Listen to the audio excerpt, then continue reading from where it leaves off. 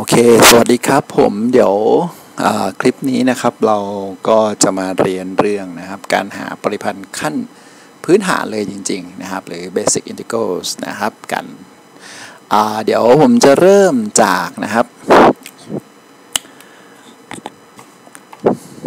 ตัวสูตรของนะครับอินทิเกรตหรือปริพันธ์นั่นเองนะครับ ส่วนใหญ่เราก็จะเรียกว่าอินทิเกรตเนาะนะครับเบื้องต้นเลยนะครับอินทิเกรตอ่า หนึ่งอ่าแล้วกันนะครับหนึ่ง dx เนี่ยนะครับมันได้อะไรนะครับอ่าอิทิเกตหนึ่ง dx จริงๆแล้วเราอาจจะเขียนแทนเลขหนึ่งเนี่ยถ้าเรายังมีปัญหาเรื่องการเข้าใจอ่าความเข้าใจเนาะเรื่องการอิเกตนะครับอ่าตัวเลขอย่างเงี้ยนะครับอ่าหนึ่งเนี่ยมันก็คือนะครับ x ยกกำลังศูนย์นั่นเองนะครับ dx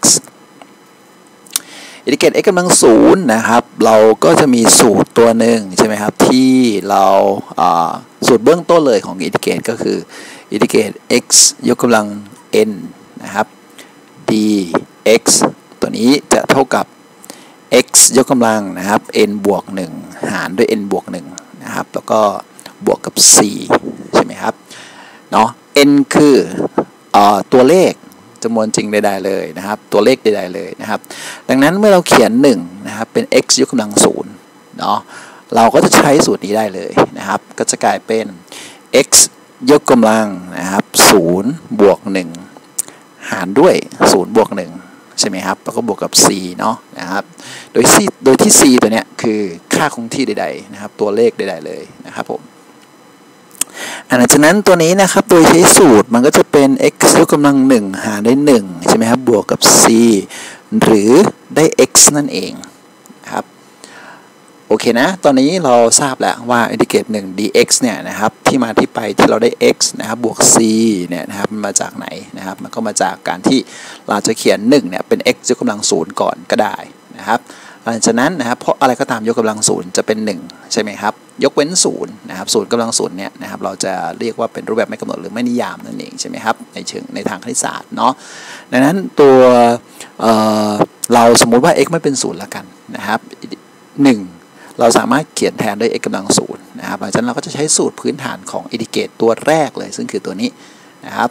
ก็ n ของเราก็เป็นเลขศูนย์นั่นเองเนาะก็จะเป็นศูนย์บวกหนึ่งส่วนด้วยศูนย์บวกหนึ่ง นะครับส่วนบวกหนึ่งก็ได้1ใช่ไหมครับก็เป็น x กำลังหนึ่งส่วนหนึ่งอันเราไม่ต้องเขียนก็ได้นะครับไม่ต้องหารด้วย1ก็ได้นะครับ1หารอะไรก็ได้ตัวมันเองใช่ไหมครับ x กำลังเด x ก็ได้แล้วโอเคเนาะ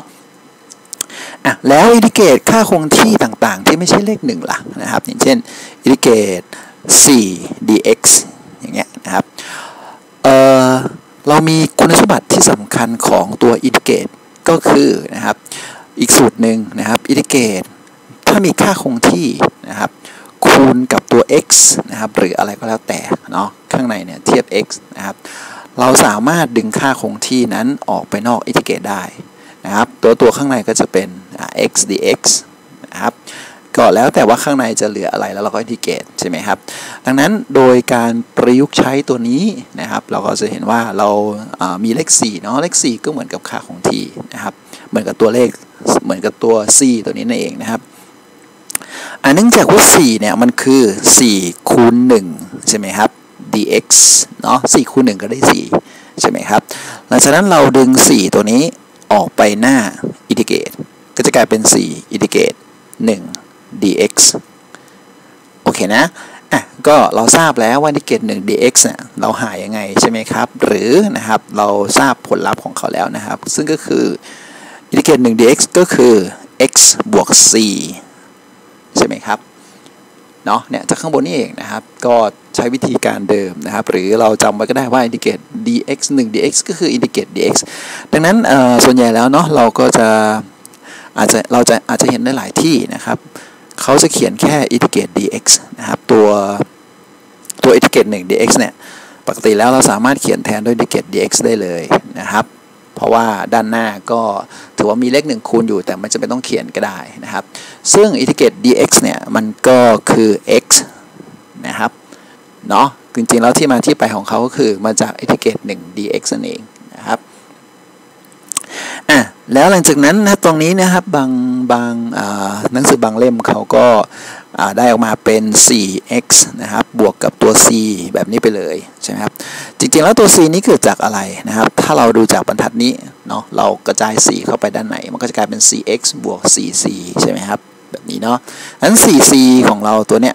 มันก็คือ c ใหญ่นั่นแหละนะครับ แต่เนื่องด้วย c ตัวนี้มันเป็นค่าคงที่ใด ๆ เราไม่ทราบนะครับ ดังนั้นพอเราคูณ 4 เข้าไป มันก็จะเป็นค่าคงที่ตัวใหม่ เนาะนั่นแหละเขาก็เรียกว่าเป็น c ใหญ่ จริงแล้วเราเขียนแบบนี้เลยก็ได้ไม่ผิดนะครับ คือหมายความว่าเราไม่ต้องเขียนวงเล็บแบบนี้ก็ได้ หมายความว่าในบรรทัดเนี้ยเราอาจจะตอบแบบนี้เลยก็ได้นะครับ ตัวสีแดงนั่นเองนะครับ ตัวนี้เนาะเราอาจจะมาที่นี่เลยก็ได้ ก็คือเท่ากับอินทิเกรต4อะโทษทีเท่ากับ 4x บวกกับ c ได้เลย แบบนี้โดยที่